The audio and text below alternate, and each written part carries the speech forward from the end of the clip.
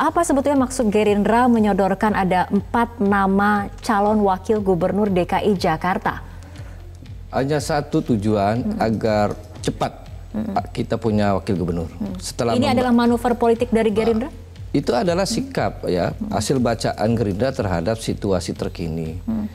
Jadi karena mandek itu, karena mandek itu maka kita menawarkan satu sebuah solusi alternatif. Di dalam media kita dengar seperti itu. Namun, Faktanya? Ya bahwa Gerindra itu menyampaikan surat kepada DPP PKS. Hmm.